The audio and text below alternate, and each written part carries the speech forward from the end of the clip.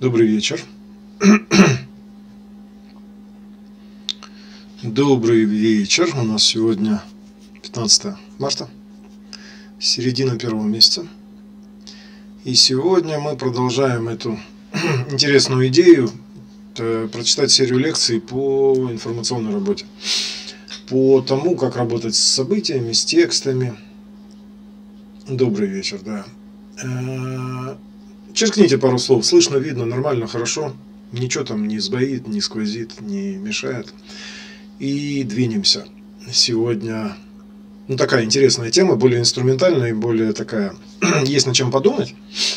И сегодня мы с вами поговорим о том, как писать тезисное сопровождение, как вообще раскладывать любые длинные тексты на тезисы, и э, как на основании этих тезисов писать справки. То есть для того, чтобы влиять на людей, надо длинные тексты э, перепаковывать в короткие справки. Да? Ну, служебный документооборот, он строится на справках. Да? Написать служебочку и доложить на бумаге, чтобы были бумажные следы в случае, если будет расследование и будет разбирательство. Да? Оставить бумажный след – это очень важная часть э, управления, да? очень важная часть документооборота. И э, служебная записка или справка – информационная справка.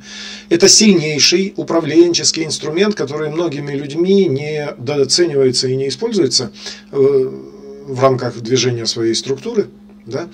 И э, в связи с этим я на этот инструмент хочу обратить внимание. Но поскольку мы с вами занимаемся информационной работой с населением, а вчера мы с вами говорили о том, как анализировать новости да, и не впадать в уныние, то э, сейчас мы пойдем дальше и сделаем следующий шаг. Мы посмотрим на разные события. События, да, это то, что в Яндекс Ленте или э, в ленте Reuters, да, расписано, как произошло такое-то событие, там-то, там-то, там-то, возможно, описаны какие-то персонажи. То есть какое-то действие первого логического уровня. Либо к действиям первого логического уровня. Что такое первый логический уровень? Кто не знает, это туловищный уровень. Это когда расписываются действия какого-то туловища. Ну, например, да, когда был президентом Дональд Трамп, то была такая новость, туловищного уровня Дональд Трамп сделал заявление после ракетного удара 59 томогавками по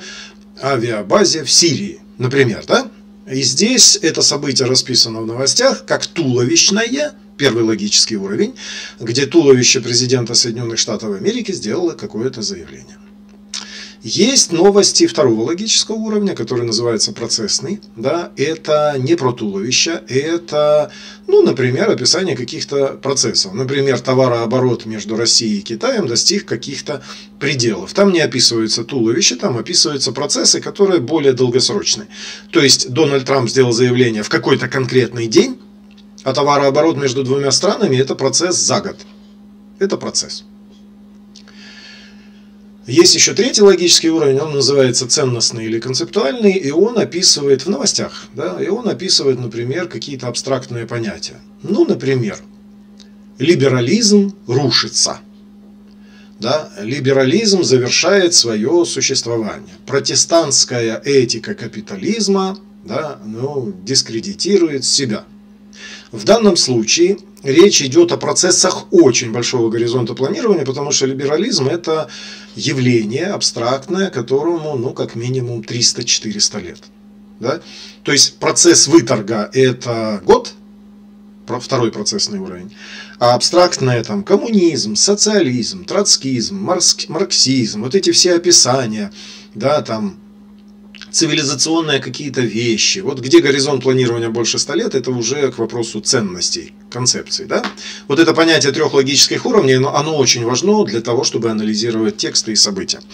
Я хочу начать, это я так, вскользь э, легкую такую, да, теоретическую э, штучку э, задвинул, но я хочу начать сегодняшний разговор, знаете, с чего? Я хочу его начать с Э, вчерашней нашей лекции, э, где э, расписаны некоторые комментарии, и я хочу коснуться одного комментария достаточно интересного, который можно разобрать. Значит, тема сегодняшнего занятия – это тезисное сопровождение. Давайте сразу разберем теорию. Да? В чем смысл тезисного сопровождения? Обычно люди, которые говорят тексты или пишут свои комментарии, или делают публичное выступление на ток-шоу, они говорят текст в потоковом виде. Да? То есть там есть огромное количество отклонений, есть какая-то сквозная мысль и есть какие-то узловые мысли, которые в принципе нужно вычленить. То есть если, например, послушать выступление какого-то политика на ток-шоу, да, то оно может занимать 10-15 минут. И если эти 10-15 минут не структурировать на тезисы, то в принципе у большинства слушателей или обсуждаем, ну, вы, например, хотите взять и это 15-минутное выступление разложить на 5-8 пунктов тезисов, которые там сказаны. И э, справка, как инструмент тезисного сопровождения, она играет колоссально важную роль для того, чтобы разложить длинный, обтекаемый, с кучей причастных, где и причастных оборотов, с ответвлениями, с шмыганиями носом, э, с взглядами по залу, да, вот этот весь мусор, всю эту воду, если отжать, то тезисное сопровождение – это краткие тезисы этих 15 минут. В качестве примера я хочу разобрать э, комментарий одного человека после вчерашней э, лекции, да, где Денис К. 19 часов назад написал, какой интересный у Дмитрия патриотизм. Я во вчерашней лекции дал определение патриотизма и рассказал, кто может считаться патриотом, кто нельзя. Я сделал это с оговорочкой на предмет того, что это мое мнение, если кто не согласен, может поспорить. И вот здесь э, человек э, берет и пишет свои возражения. Да? Э, давайте мы вот это вот скопируем и разложим этот же комментарий вот здесь в тексте. Ага, а он не раскладывается. Давайте возьмем его просто текстом, да, вот, например, вот так. Копировать и в текст вставить. А, здесь просто надо поменять цвет. Да, вот так вот. Вот, и нужно увеличить размер. Вот. Какой интересный у Дмитрия пат... патриотизм, да? Что-то тут с ошибочками. Траты на восстановление пролюбленного за 30 лет украинцами в своей стране куда отнести? Очень интересно. Смотрите, тут в принципе тезисное сопровождение уже есть. Уже можно, только разбирая 2-3 предложения, сделать тезисы, о чем здесь говорится. И самое важное, составить психотип человека. Да? То есть мы с вами помним, что есть такое понятие ключевые вопросы, с какими мы подходим к любому тексту, к любому событию, к любому явлению в новостной ленте.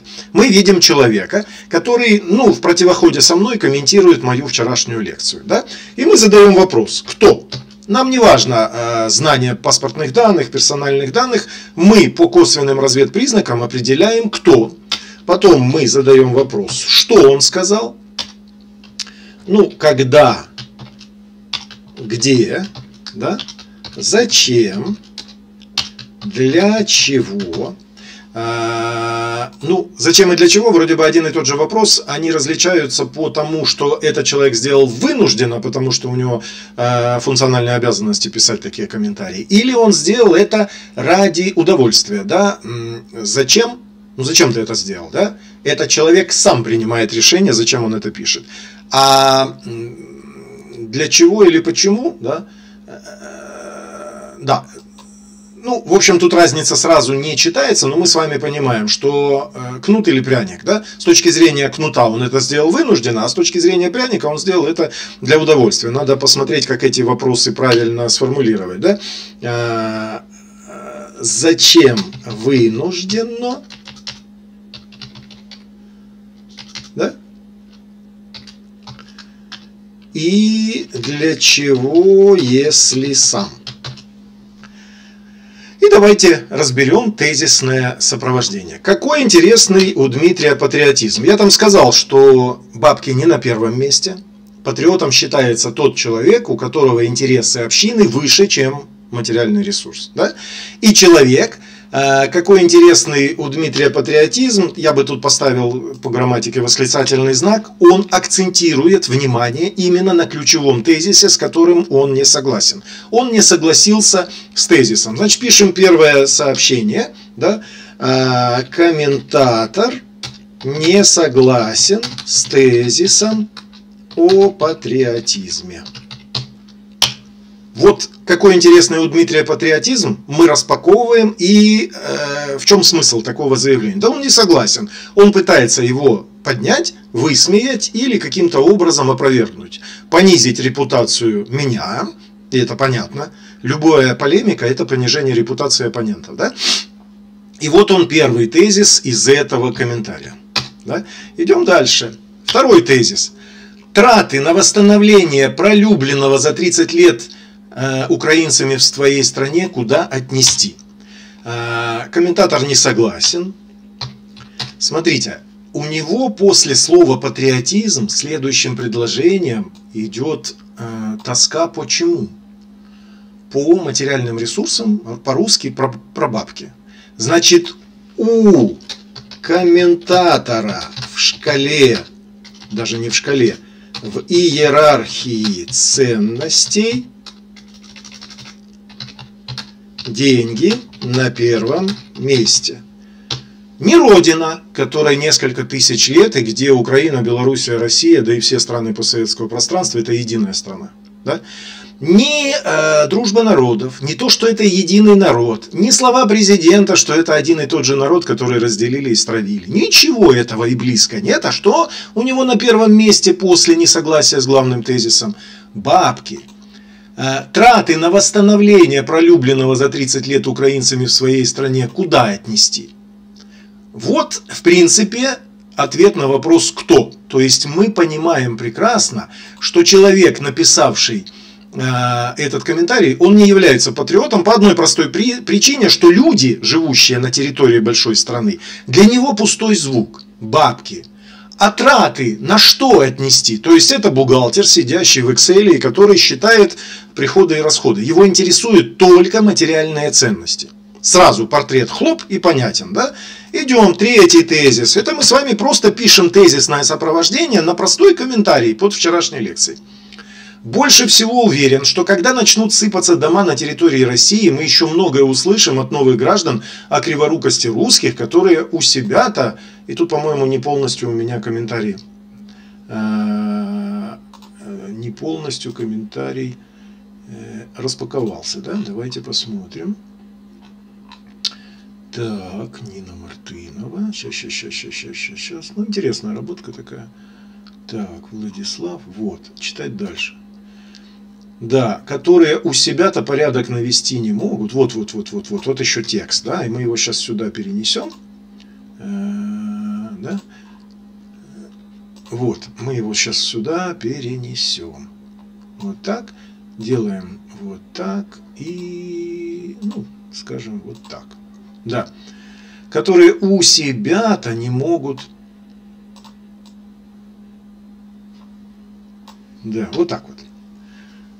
У себя-то не могут, а со своим русским миром лезут на священные земли Украины. А то, что Россия в ущерб развитию Сибири или других регионов будет восстанавливать разрушенное, это для украинца нормально. А то, что два Майдана привели к этому, это не в счет. От вас ведь ничего не зависело. Э, поэтому вы такие независимые. Да? Вот этот вот кусочек мы можем тезисным сопровождением. Если вы обнаружили, да, что такое тезисное сопровождение? Это превращение большого куска текста в мем короткий афоризм, в короткое предложение или словосочетание, которое практически полностью выражает смысл сказанного. Вот мы берем э, вот этот вот абзац. Больше всего уверен, что когда начнут сыпаться дома на территории России, мы еще многое услышим от новых граждан. Новых граждан это украинцы, о криворукости русских, которые у себя не могут, а с русским миром лезут на священные земли Украины. А то, что Россия в ущерб, ущерб это про бабки. Что на первом месте у человека? Бабло. Отношения с людьми ему по, вообще по барабану. Что делает этот человек? А, вот этот абзац, кратко, можно изобразить следующим образом. Комментатор подыгрывает британским спецслужбам по стравливанию русских и украинцев по материальному критерию.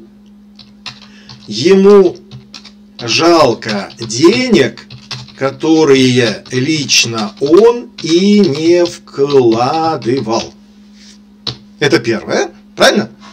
Ну, я правильно э, истолковал э, текст этого человека? Ну, конечно, правильно. Что он делает? Он стравливает русских и украинцев. Он считает, что война идет с Украиной, хотя и президент, и Нарышкин, и глава Госдумы неоднократно заявляли, что в данном случае речь идет о на территории Украины специальная военная операция. А сетицентрическая да, война гибридная, она идет с коллективным Западом. Ну, в конце концов, хаймерсы делают же не украинцы, правильно? Но человек это убирает. Он специально маскирует то, что в данном случае речь идет об освобождении исторических территорий большой страны. И поэтому он ни слова не говорит ни про польский контингент, он ни слова не говорит про спецназ Канады, Франции, США, Британии, да? Польшей, он ни слова не говорит о том, что мы в основном-то сражаемся с англоязычными и польскоязычными. А украинцев там уже меньше слышно речь. Да? Об этом он ни слова не говорит, он стравливает, как и написано в некоторых темничках британских спецслужб. Ну правильно? Получается, он не согласен с тезисом о патриотизме, и это понятно. У него в иерархии ценностей бабки на первом месте. Какой же там патриотизм? И он стравливает русских, да, и украинцев в одном только комментарии. Как вы думаете, вот это тезисное сопровождение, если его в справочку разложить, дает исчерпывающую информацию о том, кто сказал, что сказал, по поводу чего, где сказал, сам ли сказал поскольку функциональные обязанности, как у тролля, да, чтобы отметиться, либо убежденный. Вот здесь, кстати, большой вопрос. Либо функционально, либо убежденный. Но я подозреваю, что если бабки на первом месте, то он очень быстро может перекраситься и писать комментарии в другую сторону, потому что, ну, бабки ж на первом месте. Какие там принципы? Вот простой пример написания тезисного сопровождения по простейшему комментарию, который после вчерашней лекции. И это инструмент под названием тезисное сопровождение. Чтобы развить эту тему, давайте глянем, сколько мы на этот комментарий потратили времени, да, чтобы э, раз э, эту тему развить по тезисному сопровождению, давайте с вами э, разберем еще одно выступление, но уже не комментатора, а известного политика, политтехнолога, да, человека очень прокачанного, и я на самом деле очень уважительно отношусь к его интеллектуальным, ораторским и другим способностям. Человек подготовленный. Причем подготовленный и у нас, и за рубежом. Это Дмитрий Потапенко. И я хочу поднять его небольшую четырехминутную цитату, которую он сделал 7 лет назад. Это, по-моему, 14 или 15 год. Как раз после Крымской весны. Да? И здесь Дмитрий эмоционально, очень квалифицированно, очень подготовленно высказывает свою позицию по вопросу возвращения Крыма в состав Российской Федерации. И это занимает ровно 4, 4 с копейками. Для того, чтобы, например, оппонировать ему на ток-шоу, или, например, написать справку, потому что люди смотреть э, ролики длинные просто физически не могут иметь времени, да? А для того, чтобы четко понимать, что там произошло, нужна справочка с тезисным сопровождением. Давайте напишем справочку и тезисное сопровождение по этому выступлению Дмитрия Потапенко. Я очень уважительно к нему отношусь, подчеркиваю, я не буду его сейчас здесь сильно дискредитировать, я просто нейтрально воздавая должное его интеллектуальным и другим способностям, я отвечу на те же самые вопросы. Кто, что, когда, зачем, почему, да? И э, распишу в тезис, на что он сказал. Давайте я сейчас включу это э, выступление. Э, распишу в тезис, на что он сказал. Да. Сейчас моя речь закончится, чтобы не было а, или я микрофончик свой сейчас приглушу. Да, и мы сейчас с вами попробуем... А, или я микрофончик свой сейчас приглушу. Да, и мы сейчас с вами попробуем... Э, а, или я микрофончик свой сейчас приглушу. Да, и... Дмитрий, вы что думаете по этому поводу? Каким путем нужно идти в развитие Крыма? Вы знаете, вся эта шумиха с а, присоединением а, Крыма или его аннексией, неважно каким образом, кто, какая сторона из них как оценивает, но это обычная экономика, я уже это много раз говорил. А, нет, не существует никакой политики. Политика – это перепачканная в Гуана экономика. Значит, там все банально и цинично. Мы забрали с, э, фишку с поля, которая просто никому не нужна была. Она, это была договоренность между трех руководителей стран.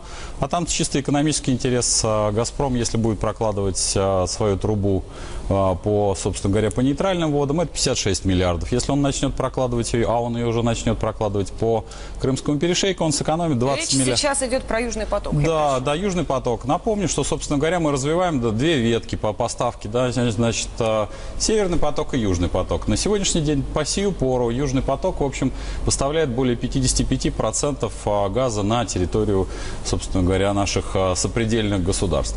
Поэтому говорить о том, если мы возьмем, как Крым развивать, да ничего там развивать не надо. Собственно говоря, «Газпром» проложит свою трубу, и «Газпром» выдает в обратную сторону, у него отберут деньги для развития Крыма. Посему, а говорить о том, о серьезном каком-то бизнесе в Крыму, ну, это более чем э, бестолковая ситуация, потому что вот все, что мы сейчас обсуждаем, мне это напоминает э, старую советскую поговорку «оборот факт, э, прибыль искусство», поэтому это вопрос, как посчитать. Там можно так насчитать, а я уже это, об этом говорил, что, в общем, Крым – это наша следующая Олимпиада, это прекрасно, поэтому зарытые 50 миллиардов долларов в Сочи – это детский лепет по сравнению, сколько можно зарыть в Крым. Дмитрий Потапенко сказал следующие вещи. Э, ведущая у него спрашивает, да, так а, Крым, что вы думаете по поводу возвращения Крыма? На что Дмитрий Потапенко ответил, да никакого возвращения не было, а, кто-то считает это возвращением, кто-то считает аннексией, и этим тезисом он, в принципе, показал, что он считает Крым аннексией. Понятное дело, что это право человека, политика, политолога считать, как он хочет, да, но он назвал э, эту тему что Крым э, аннексирован. Да? То есть, если писать тезисное сопровождение,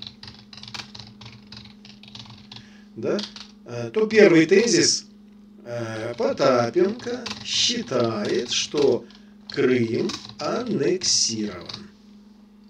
Я как крымчанин, естественно, в полемику сразу же вступаю, но для того, чтобы вступать в полемику, нужно четко понимать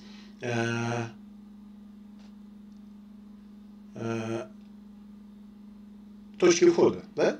Потапенко считает, что Крым аннексирован. Дальше он сказал, что Крым аннексирован в интересах Газпрома для того, чтобы сэкономить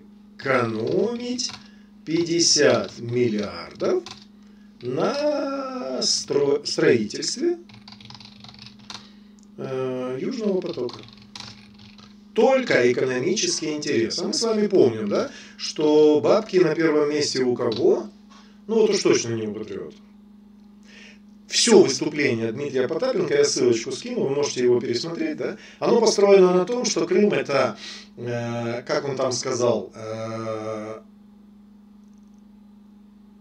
нет никакой политики, есть только перепачканная в Гуана экономика. Да? То есть бабки на первом месте. Ценностная шкала Потапенко – бабки на первом месте. Это понятно, потому что Дмитрий Потапенко – ритейлер. Он держит сети супермаркетов. Причем это супермаркеты в Чехии, в Бельгии, в Китае и немножко в России. Что такое ритейлер? Это торговец. Что такое торговец? Это второй э, логический уровень.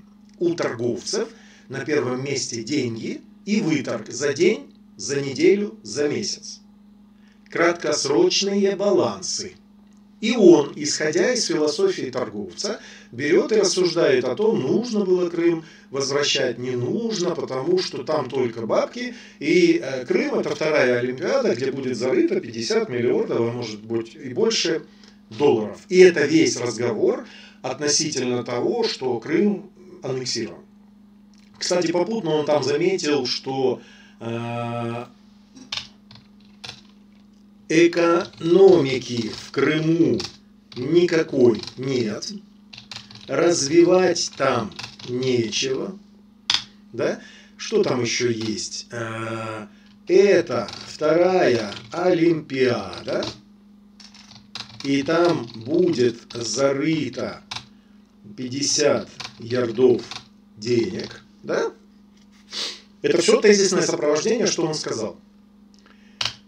И что еще он сказал? И, и, и, и, и, и, и. Да, в общем-то, и достаточно. Четыре тезиса достаточно. И теперь смотрите, как эта справочка может быть написана. Дмитрий Потапенко в 2014 или 2015 году на вопрос телеведущего относительно того, как он относится к возвращению Крыма, ответил, что он считает, что Крым аннексирован. Это он сказал не впрямую, но дал понять, что он придерживается этого же мнения. Что он аннексирован в интересах «Газпрома», чтобы сэкономить денег на строительстве Южного потока, поскольку э, поток будет проходить в территориальных или экономических водах России. А самой экономики развивать там нечего, там ничего нет, да? ну никакой экономики. И это будет вторая Олимпиада, там будет зарыто 50 ярдов. Сам Крым – это фишка с поля, дословно, да, это фишка с поля, которую Россия забрала, потому что никто не хотел ее забирать. Да, это вот пятый тезис. Крым – это фишка, которую Россия забрала с поля. И вот оно, тезисное сопровождение. Да? И это тезисное сопровождение уже позволяет, например, выходить на ток-шоу и дискутировать с Дмитрием Потапенко, не понижая его, не обесценивая, не говоря, что он там в чем-то не прав. Но представляете, только наличие тезисного сопровождения уже позволяет победить Дмитрия Потапенко в ток-шоу, если будет поставлена такая задача. Обратили внимание, как президент проводит прямые линии и ответы на вопросы журналистов? Он сидит с ручкой и пишет на листочке бумаги. Как вы думаете, что он делает? Он делает тезисное сопровождение. Из текста потокового человека, спрашивающего, он пишет пункты плана первое, второе, третье, четвертое, где тезисами, короткими словосочетаниями или предложениями описывается суть сказанного. И это важнейший инструмент, без которого категорически нельзя подходить к анализу никаких событий, будь то выступления политиков, какие-то заголовки или статьи в интернете и так далее, и так далее. И тезисное сопровождение – это важнейший инструмент. Кстати, ради э, прикола, как бы, если бы я, например, с Дмитрием Потапенко встретился на ток-шоу, как бы я вот это выступление бы, э, я, как бы я с ним бы поспорил.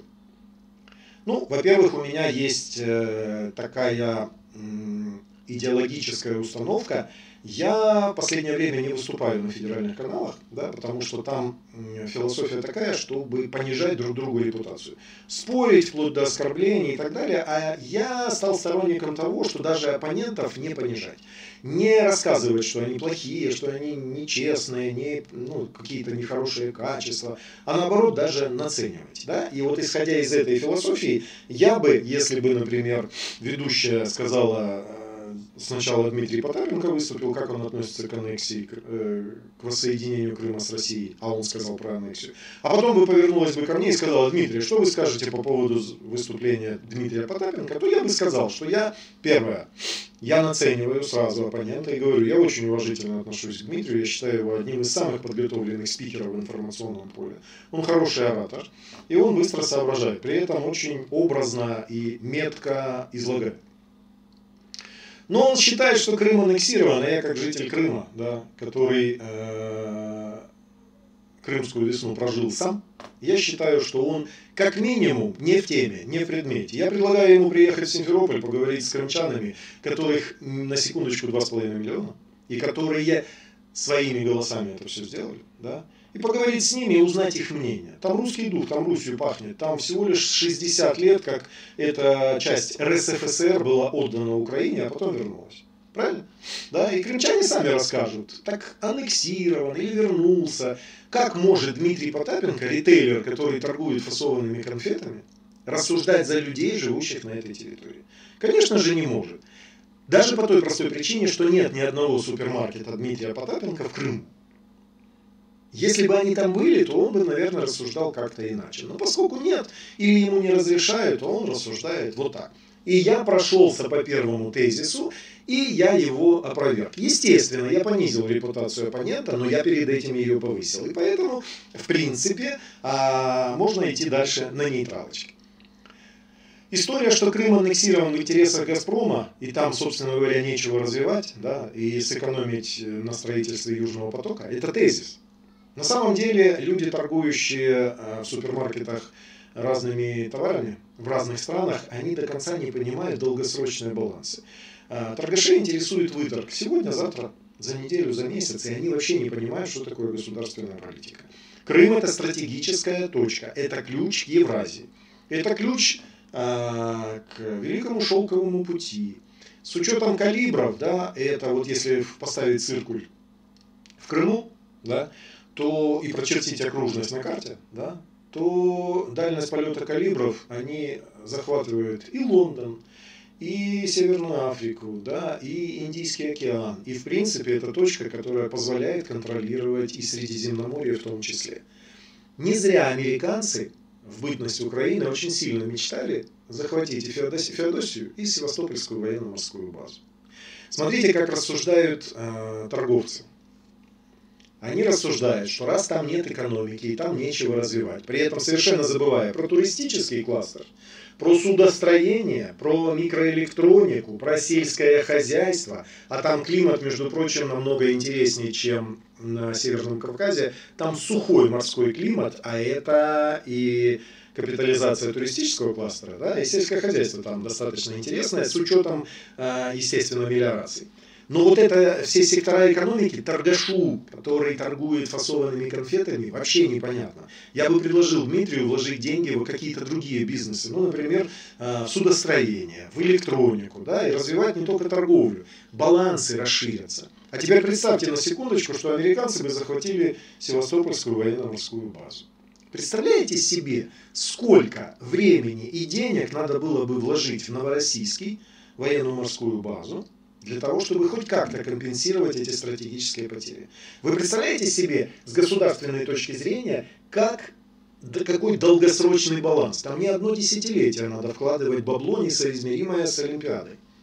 И то мы бы не отыграли взад вот эту вот потерю э, Севастопольской военно-морской базы. Правда? И получается, что человек, который рассуждает краткосрочными балансами торговца – судит государственную политику, судит настроение русских людей, живущих там и, между прочим, выступающих за воссоединение с Россией все 60 лет. И фактически э, понижает репутацию Российской Федерации и ее руководства, создавая вот этот либеральный шум. И сбивая с толку людей, которые до конца этого всего не понимают. Смотрите, что я сделал. Я взял, написал тезисное сопровождение – я ответил на вопрос, кто говорит? Дмитрий Потапенко, ритейлер, торговец. Краткосрочные балансы. Судит государственную политику, точно не торговлю, точно не экономику, а более долгосрочный баланс, и у него не получается. Просто потому, что способ мышления торговца и способ мышления государственника – это разные временные лаги. Торговца интересует выторг сегодня, завтра, послезавтра месяц, сиюминутная прибыль, бабки на первом месте, миллиарды для «Газпрома» на первом месте. А государственника интересует, кто здесь будет жить через 50 лет и что для этого надо. Севастопольская военная база, Новороссийская, экономика, люди, да? ну и так далее, и так далее. И э, даже тот афоризм, там в выступлении Дмитрия Потапенко есть афоризм, который звучит следующим образом. Э,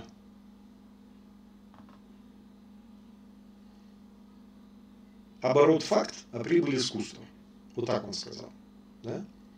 Обратите внимание. То есть он, рассказывая о том, сколько денег потрачено на возвращение Крыма, он как циничный торговец говорит, ну, оборот факта, прибыль искусства. И таким образом он еще раз подтверждает, что в его иерархии ценностей бабки, выторг на первом месте. Родина, наши люди, и украинцы, и русские, все люди, которые говорят на русском языке, у всех, у которых культурный код, у всех, которые рожают детей, которые будут здесь жить через 30-40 лет. Это все пустой звук. Деньги на первом месте. Торго, торговое э, мировоззрение, торгашеское. При этом подготовленный спикер. И достаточно по тезисному сопровождению подсветить вот эти моменты, и победа в, э, в полемике, она уже просто держится в руках. И, в принципе, через тезисное сопровождение можно готовить спикеров, готовить их для публичных ток-шоу.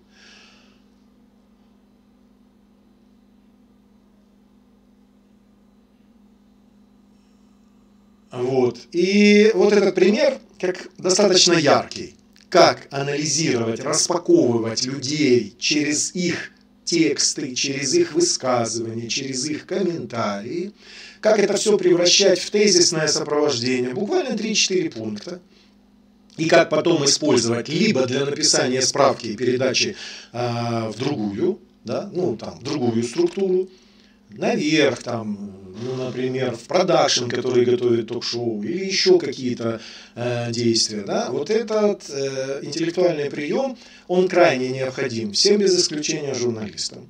Он крайне необходим всем без исключения руководителям. Вы представьте себе, какие возможности возникают при анализе заявлений, да, высказываний простых людей, сотрудников на вашем предприятии. Первое, что надо сделать, это составить психологический портрет человека напротив и разложить его высказывание на тезисное сопровождение.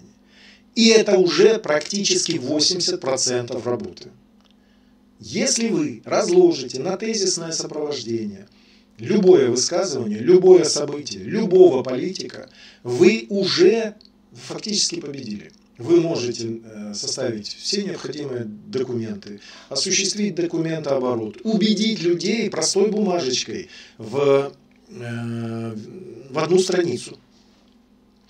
И вот такая работа с информацией позволяет на шаг, на два, а то и на десять опережать мышление всех других людей. Даже если они подготовлены э, в зарубежных центрах по подготовке ораторов, политиков там, и политологов, и они очень хорошо держатся перед камерой тезисное сопровождение – это наше все. А что такое справочка, да, которая пишется на страничку? Я хочу ее структуру сейчас написать. Да. А, структура написания справки по тезисному сопровождению. А, структура написания справочки очень простая. Это надо запомнить, как отче наш. Вообще, на самом деле, это структура любого монологического текста, письменного или устного. Это структура любого сценария, любого фильма, документального, художественного, игрового. Это структура публичной речи. Это четырехактная структура. Да? И звучит она так. Тема, проблема или список вопросов, которые надо решить. Да? Третье. Э, решение проблем или списка вопросов.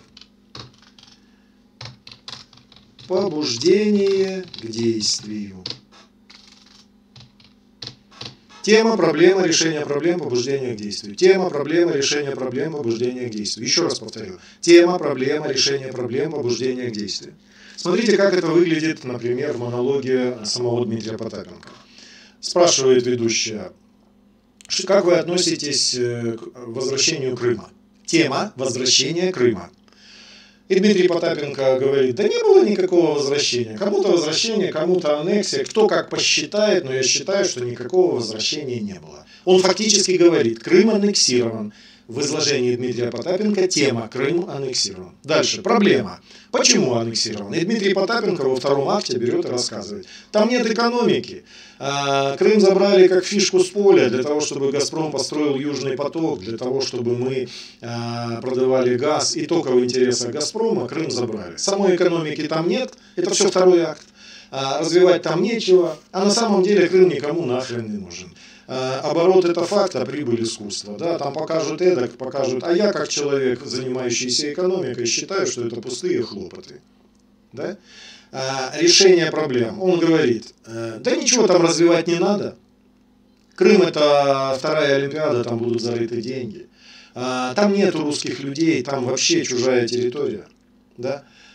И побуждение к действию, э, давайте считать, что Крым аннексирован в принципе, обратила, образовалась драматическая кода.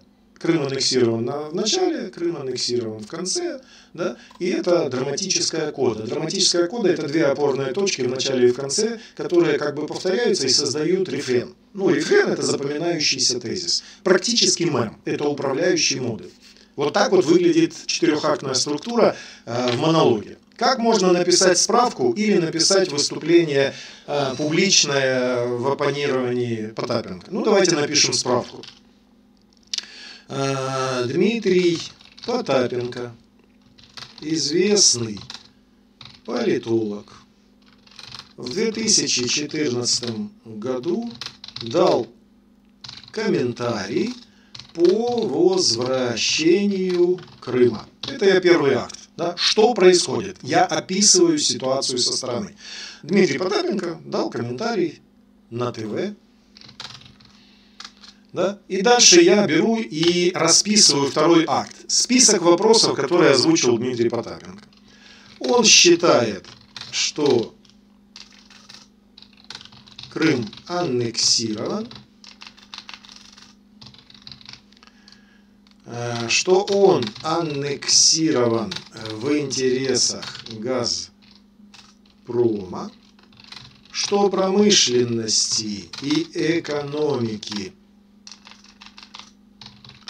там нет, развивать там нечего, и Крым – это вторая Олимпиада, где будут зарыты очередные 50 миллиардов. Считаю, что торгашеское мышление Потапенко, который рассуждает краткосрочными балансами, и совершенно не понимает долгосрочные цели государствен, государственнической политики, а, являются деструктивными и требуют активной полемики в обществе обсуждения и развенчивания этих либеральных идей. Предлагаю создать группу спикеров, которые разложат любое выступление торгашей на молекулы и создадут требуемое информацию онное поле. Смотрите, я написал справочку. Четыре акта. Первый акт – тема, что случилось. Второй акт – список вопросов, которые там э, описаны. Третье – как я предлагаю все эти вопросы разбирать и реагировать стратегически – и четвертое, что я предлагаю сделать здесь и сейчас тактически, побуждение к действию. И вот это и есть краткое изложение справочки. Вот это я хотел сегодня рассказать. Надеюсь, не сильно занудил э, академический час.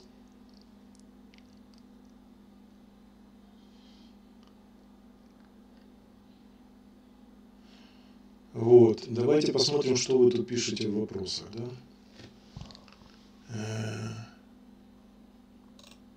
Раз, два, три. Меня слышно, да? Так, звука нет, звука нет, звук есть. Может на микрофоне выключатель, да. Грамотно сформулированный вопрос, половина ответа. Дмитрий, судя по всему, вы показываете, как оперативнику необходимо работать с информацией. Ну, можно и так толковать. Так, торгаши забывают про все, когда у них перед глазами стоит количество нулей. Да. Справка – это меморандум. Да, можно и таким нерусским словом, да. То есть это короткий документ, в котором кратко излагается суть обсуждаемых вопросов. Так это же спин методика в продажах. Да, конечно, да. А вы думаете, методология разная в продажах или в социологии, или в управлении социальными группами. Дмитрий Успехов, спасибо. Э, разные цели и задачи.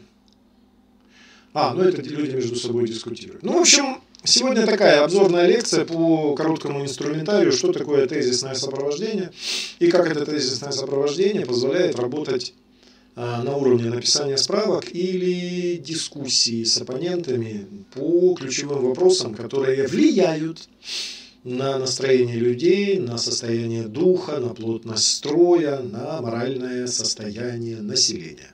Собственно говоря, вот это я хотел сегодня рассказать. Если у кого-то есть вопросы, то вы, конечно, задавайте. А если вопросов нет, то всем хорошего вечера.